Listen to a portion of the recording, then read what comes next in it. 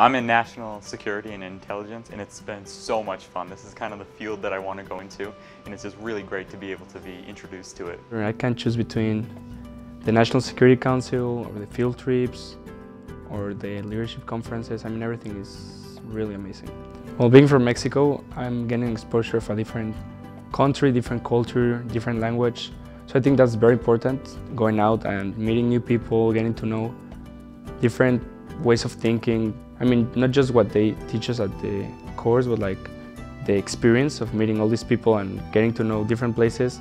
It's just an advantage of everyone else that's back at home. The National Security Council is a great opportunity for me and nine other of my peers to interact and discover what it would be like to sit in on a real National Security Council with the President and we are given a crisis situation and it could either escalate or de-escalate based on the decisions we make and all of our decisions have real-time consequences that we get throughout the day or at our next briefing.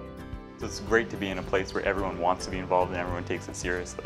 It's a busy week but very fun and I really, I'm glad I actually came.